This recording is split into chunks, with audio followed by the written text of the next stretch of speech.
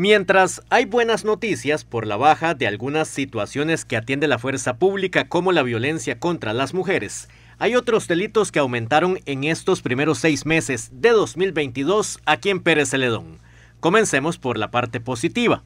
A la baja, algunos tipos de delitos, te puedo decir que la ley de violencia doméstica ha bajado, gracias a Dios, los delitos en el seno de las familias.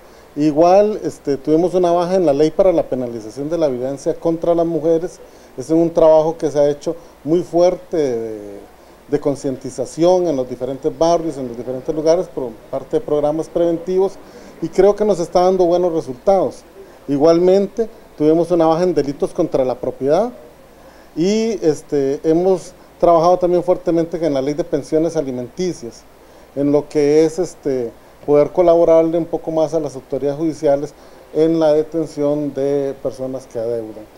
La parte negativa es el aumento de los hurtos. El exceso de confianza colabora con la delincuencia según el análisis que realizaron en la fuerza pública.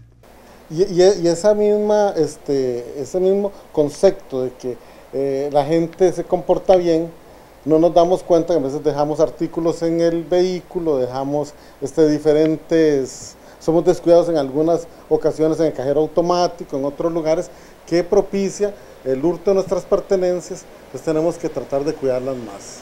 Los teléfonos celulares en la bolsa trasera es otro aspecto que facilita el trabajo del AMPA. El celular, que lo andan ahí, celulares, algunos de diferentes precios, pero al fin y al cabo es algo que nos sirve. Igualmente las cadenas, artículos este, relojes eh, que tienen gran ostentación, eso también hace. Después el dinero, entonces sacan el dinero, el cajero automático, y lo dejan en el asiento del carro y se van y se compran un helado. Ya nos ha pasado y esa situación pues este, hace que los delincuentes estén atentos a ver cuál es nuestro descuido para poder sustraer nuestros bienes.